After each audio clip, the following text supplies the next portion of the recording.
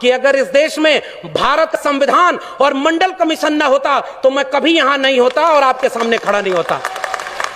तो जिस सीढ़ी से चलकर मैं आया हूँ वो सीढ़ी मेरी आँखों के सामने तोड़ी जा रही है और मंच पर आकर के मैं आपसे तालियाँ बजवाने के लिए वो बात कहूँ कि सब लोग खुश हो जाएँ और कल को मुझे वाइस चांसलर बना दें। वो वाइस चांसलरी किस काम की है कि कल वापस जाके जब मेरे लोग मुझसे पूछेंगे, मेरी नौकरी बर्बाद हो गई, शिक्षा बर्बाद हो गई, रोज़गार बर्बाद हो गया, तुम उन लोगों के साथ बैठ करके कह रहे थे, जय भीम, जय मंडल।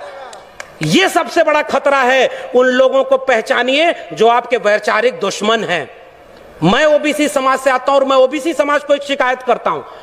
इस देश में ज्योतिबा फूले माली जाति से आते थे, ओबीसी थे। डॉक्टर अंबेडकर ने उन्हें अपना तीसरा गुरु बनाया था।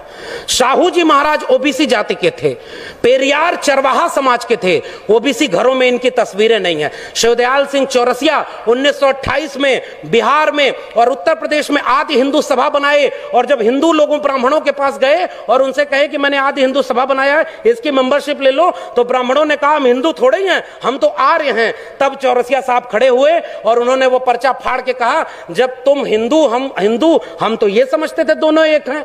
और जब तुम हिंदू नहीं तो हम भी हिंदू नहीं। और उन्होंने उसका नाम बदल कर कहा depress classes league backward classes league 1948 में उसका लखनऊ में सेमिनार कराया और उसकी अध्यक्षता करने के लिए पेरियार और डॉक्टर अंबेडकर को बुलाया। तब जाके बहुजन एका बनी थी।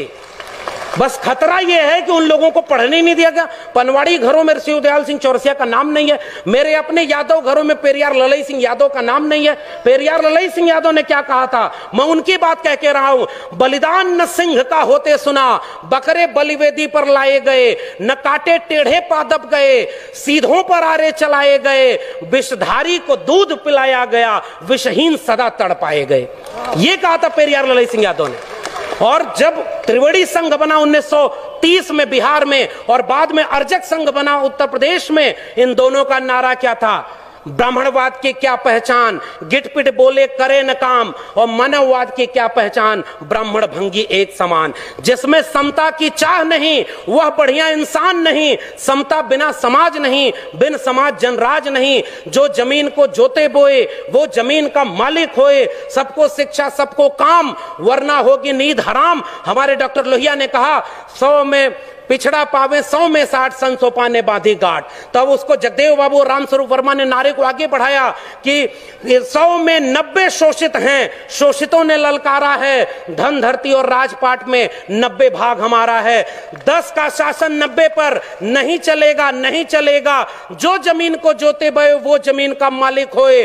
और राष्ट्रपति हो या भंगी की संतान, सबको शिक्षा एक समान, सबको शिक्षा, सबको काम, वरना होगी नींद हराम। और सबको शिक्षा दे न सके जो वो सरकार निकम्मी है और जो सरकार निकम्मी है, वो सरकार बदलनी है। आप नेताओं के गुलाम बन गए इसलिए क्योंकि आप एकजुट नहीं रहे। अचानक कोई नेता आके कहता है कि आप चलो, हिंदू धर्म खतरे में है। अरे उससे रोक के पूछिए, हमारा स्कूल और विश्वविद्यालय खतरे में है, तब तुम क्यों नहीं आए? मेरी नौकरी कोरोना में चली गई, तब तुम क्यों नहीं आए? हमारी अर्थव्यवस्था डूब गई, तब तुम क्यों नहीं आए? और पचासी परसेंट हिंदू तब बनाते हो जब मुसलमानों के खिलाफ दंगा कराना होता है। और उसके बाद दलित महिला थी, सुनिए दलित महिला थी उत्तराखंड में, खाना बनाकर स्कूल के बच्चों को खिलाती थी। और दलित महिला की जाति देखकर सवर्ण बच्चों ने कहा, हम खाना नहीं खाएँगे, तब हिंदू धर्म खतरे में क्यों नहीं आया? ये मेरा सवाल है, उस महिला की जाति देखते हो क्योंकि वो दलित है, इसलिए हम खाएँगे नहीं। पूछिए उन लोगों से 2 अप्रैल के भारत बंद के दिन, वो लोग कहाँ थे जो केंद्र से लेकर के राज्य में सत्ता में बैठे थे और दलित सीटों पर चुन करके गए थे?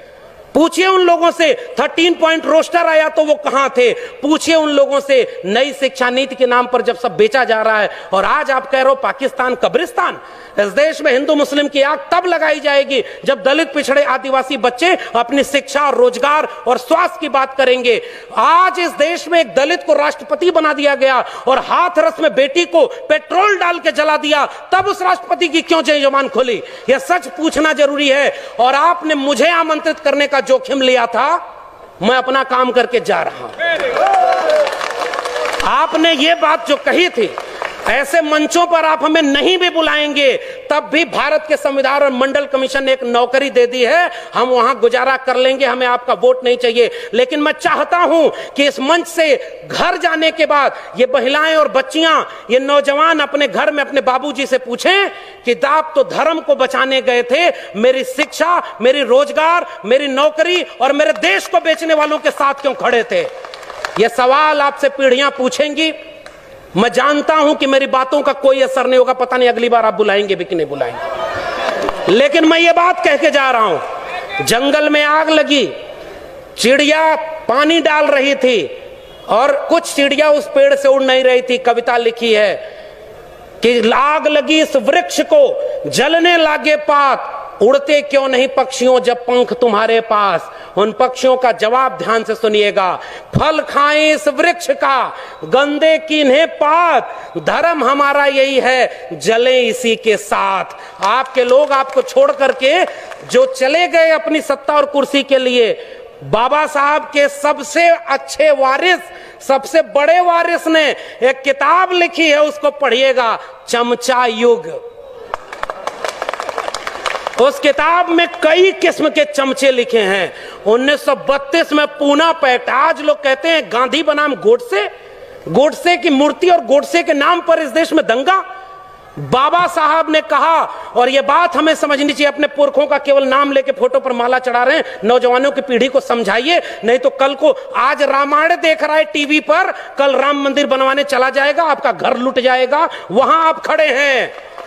तब डॉक्टर अंबेडकर रोए थे, पूना पैक्ट जब करके आए गांधी को तीन गोलियाँ मारी थी उन लोगों ने जो आज शासन कर रहे हैं। वो हमसे कहते हैं, हमारे पुरखे ने गांधी की जान बचाई है। उन्होंने तीन तीन गोलियाँ गांधी के सीने में मारी है। हम वो लोग हैं। और आखिरी बात कह के जा रहा हूँ, इस देश में बहस चला रही है गांधी बनाम गोडसे। आप गांधी के साथ हैं कि गोडसे के साथ हैं? मैं कहता हूँ, गांधी बनाम गोडसे में हम गांधी की हत्या करने वाले नहीं, गांधी का जीवन बचाने वाले डॉक्टर अंबेडकर के साथ हैं। पेरियार ईवी रामास्वामी नायकर और गांधी की बहस में हम पेरियार के साथ हैं। भगत सिंह और गांधी की बहस में हम भगत सिंह के साथ हैं। हम डॉक्टर अंबेडकर और गांधी की बहस में गांधी के नहीं, भग डॉक्टर अंबेडकर के साथ हैं और गांधी और लोहिया की बहस में हम लोहिया के साथ हैं। ये हमारी विरासत है। आने वाली पीढ़ियाँ हमसे पूछेंगी, साहब, कि जब देश लुट रहा था, आपके बच्चों का भविष्य बर्बाद किया जा रहा था, दंगाई बनाया जा रहा था, तब आप